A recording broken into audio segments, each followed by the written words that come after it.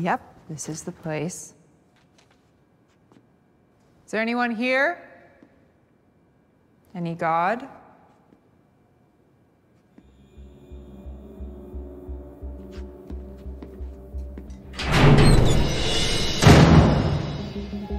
Suck on that, Aurora.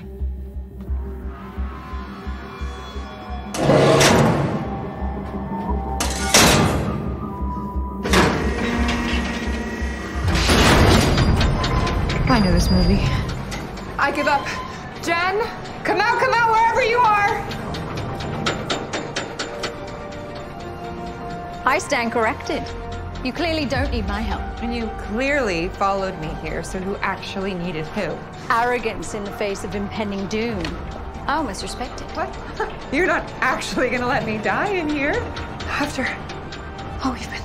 Well, I can't just let you out, can I, darling? Because you were right about one thing. We have profound trust issues.